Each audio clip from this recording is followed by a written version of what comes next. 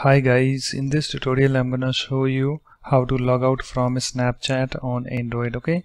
You can see guys I'm logged into my Snapchat account and I want to log out okay?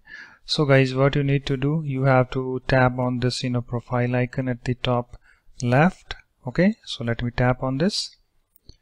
Okay guys and after that you have to tap on this you know a gear icon at the top right okay? So let me tap on that okay and after that guys you have to scroll down at the very bottom okay? And here we have this logout link. So just tap on this logout okay? And here we have this little pop-up uh, save a login information. Would you like to save your login info on this device? Uh, you will be able to log in without having to enter your username or password okay?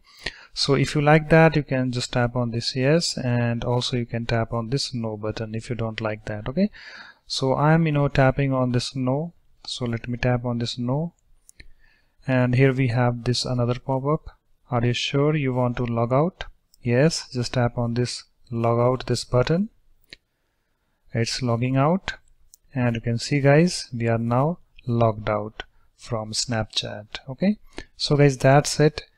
Uh, in this way you can easily log out from Snapchat on Android. So thanks for watching. If you like my videos please support this channel by subscribing to it. Thanks. Bye bye